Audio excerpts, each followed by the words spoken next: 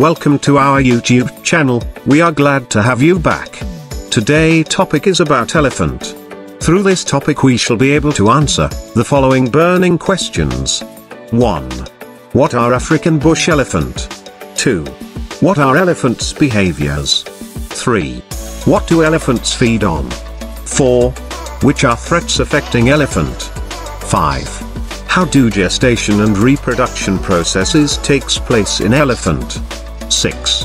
Which measures wildlife countries have taken to ensure protection of elephants from threats? 7. Why are elephants population decreasing in the whole world? Elephant scientific name. Loxodonta africana. Weight. 2000 to 6100 kilograms. Size. Up to 4 meters. Lifespan. 60 to 70 years. Habitat. Open and closed savanna, grasslands, and arid deserts. Diet. Herbivorous. Gestation. About 22 months. Predators. Humans and occasionally lions or hyenas.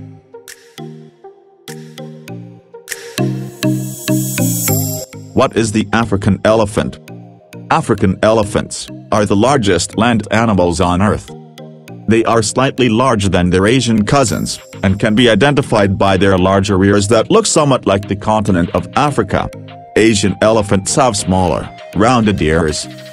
Although they were long grouped together as one species, scientists have determined that there are actually two species of African elephants, and that both are at risk of extinction.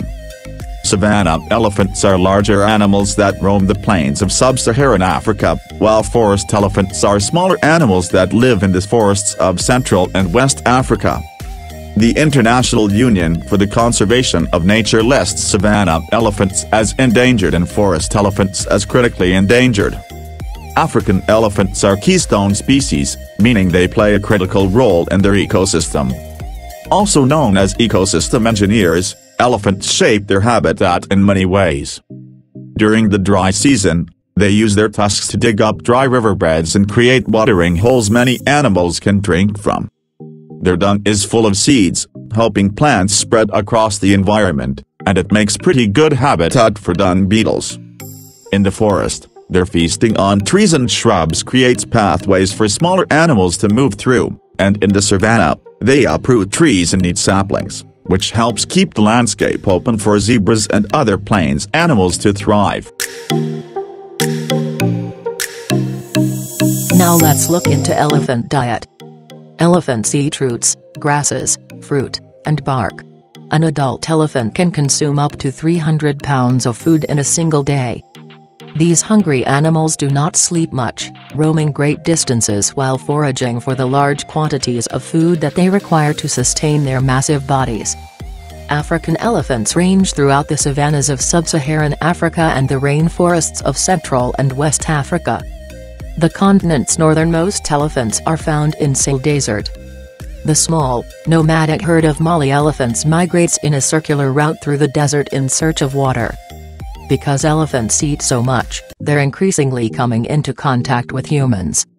An elephant can destroy an entire season of crops in a single night.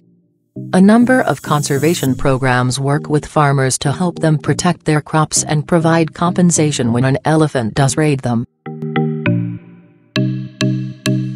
This are behaviors of elephant. Elephants have a very long nose, which also doubles as an arm. Their trunk is a long nose that is used for breathing, smelling, drinking, trumpeting, and grabbing objects. Their trunks are also a grooming tool.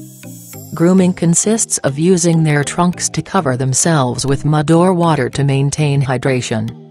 They have two finger-like extensions on the tips of their trunks that are used for holding onto small objects.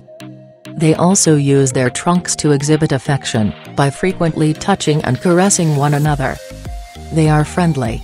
Much like humans, these mammals are social creatures that live in small family groups that usually consist of an older matriarch and several generations of female relatives. Males are typically solitary once matured but may live in small groups of three or four bulls. They take care of weak or injured members and even appear to grieve over dead companions. Elephant ears radiate heat to help keep these large animals cool, but sometimes the African heat is too much. Elephants are fond of water and enjoy showering by sucking water into their trunks and spraying it all over themselves. Afterwards, they often spray their skin with a protective coating of dust.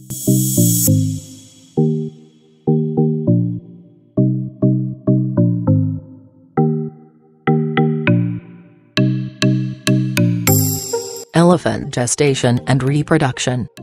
Elephant gestation and reproduction is a slow process. They have longer pregnancies than almost any other mammal. Calves are carried for about 22 months, with cows usually bearing only one calf every 3 to 6 years. Their regeneration rate averages 5 to 6% annually, compared to the 8 to 9% poaching rates, resulting in a net loss in population numbers. Extinction is a very real threat if poaching continues unabated. Elephants are matriarchal, meaning they live in female-led groups. The matriarch is usually the biggest and oldest. She presides over a multi-generational herd that includes other females, called cows, and their young. Adult males, called bulls, tend to roam on their own, sometimes forming smaller, more loosely associated all-male groups.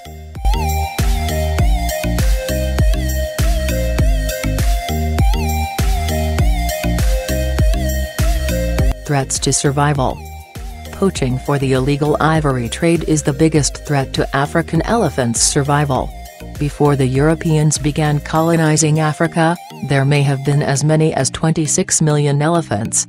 By the early 20th century, their numbers had dropped to 10 million. Hunting continued to increase. By 1970, their numbers were down to 1.3 million. Between 1970 and 1990, hunting and poaching put the African elephant at risk of extinction, reducing its population by another half. In the years since, poaching has continued to threaten both species. Savanna elephants declined by 30% between 2007 and 2014, while forest elephants declined by 64% from 2002 to 2011 as poaching worsened in Central and West Africa. In 2021, the International Union for Conservation of Nature recognized them as separate species for the first time, listing savanna elephants as endangered and forest elephants as critically endangered. As few as 400,000 remain today. Compounding the problem is how long it takes for elephants to reproduce. With reproduction rates hovering around 5 to 6%, there are simply not enough calves being born to make up for the losses from poaching.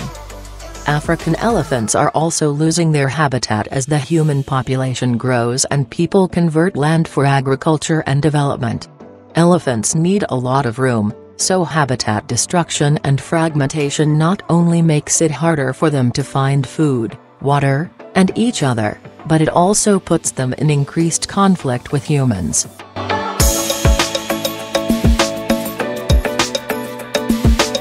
Now these are conservation strategies commonly used by countries all over the world.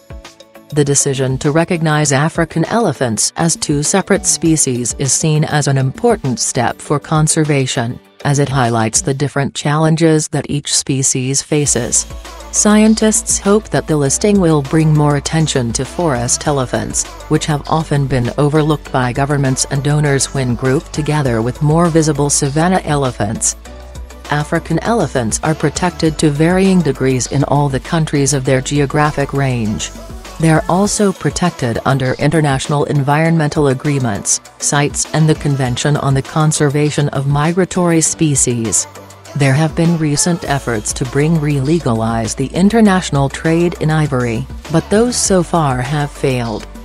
Conservation groups and governments have worked to set aside land for wildlife, including corridors that connect those protected lands. Still, researchers believe that up to 70% of elephants' ranges on unprotected land. To curb poaching, stopping the illegal trade is key. Advocates have launched campaigns that address both the supply side, poaching, and the demand side, people who buy ivory. There has been some progress in recent years, especially on the demand side. In 2015, China, believed to be the world's biggest illegal and legal ivory market, agreed to a near-complete ban on the domestic trade of ivory. Since the ban went into effect, public demand for ivory seems to have fallen. On the supply side, protecting elephants from poaching also requires a local approach. In 2019, a study showed that the suffering of elephants is tied to that of the humans living nearby. Regions with high levels of poverty and corruption are more likely to have higher poaching rates. This suggests that helping communities develop sustainable livelihoods could reduce the lure of poaching.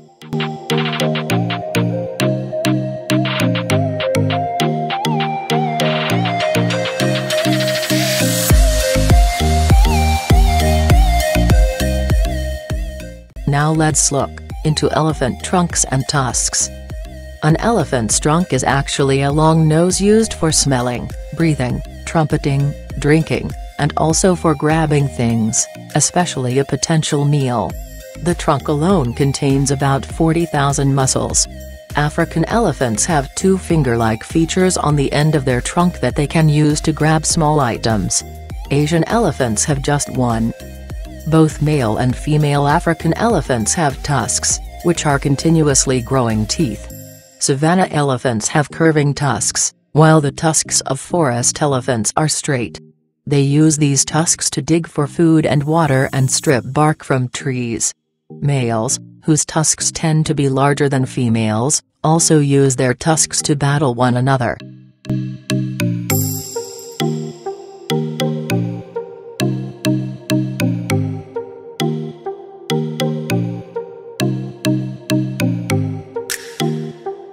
Elephant poaching and demand for ivory are driving this mammal toward extinction. The large ivory tusks on either side of their face, used for foraging for food and water, have long been desired by people. The ivory trade is driven by consumer demand for products made from tusks and supplied by a sophisticated international network of traffickers poachers kill this iconic species for its ivory tusks, which are then sold and made into anything from jewelry and crafts to musical instruments to religious objects. At current poaching rates, populations may disappear in the wild within our lifetimes.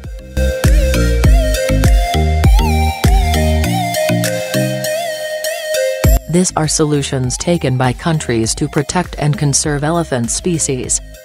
1 give them room to roam. Wildlife corridors are large sections of land that allow wildlife to move from one national park to another, and even from one country to another. African Wildlife Foundation works with people on all levels, from governments to communities, to set land aside specifically for wildlife use, and in some cases, purchase land to set it aside for conservation. Habitat loss poses a long-term threat to African elephant populations. AWF is working in countries like Zambia to create protected spaces for this beloved species. We worked with Zambia's Sekute chiefdom to create the Sekute Conservation Area, and in exchange for protecting wild spaces for wildlife, AWF rebuilt the Lupani School. 2. Empower community members. AWF works with communities who live in close quarters with wildlife, to recruit, train, and equip wildlife scouts. These wildlife scouts monitor wildlife and can prevent them from destroying crops, thereby preventing farmers from viewing them as pests. Scouts are also instrumental in deterring poachers. As a result, AWF can ensure enhanced protection of wildlife in these regions, like the Osupuko and Katum conservancies in Kenya, as well as provide additional employment opportunities to local communities. 10 of the 14 of the elephant populations AWF works with are now stable or increasing. 3. Raising awareness to end ivory demand. AWF is fighting the demand for ivory in China and across the world, educating consumers about the real cost of ivory products and working with governments to close ivory markets. Since 2012, AWF and partner WildAid have developed celebrity-driven public awareness campaigns that shed light on the ivory trade's impact on populations and demonstrate the true horrors of poaching. We have worked with celebrity ambassadors like former NBA star, Yao Ming, actor Jackie Chan, actor Li Bingbing, and Virgin Group founder Sir Richard Branson.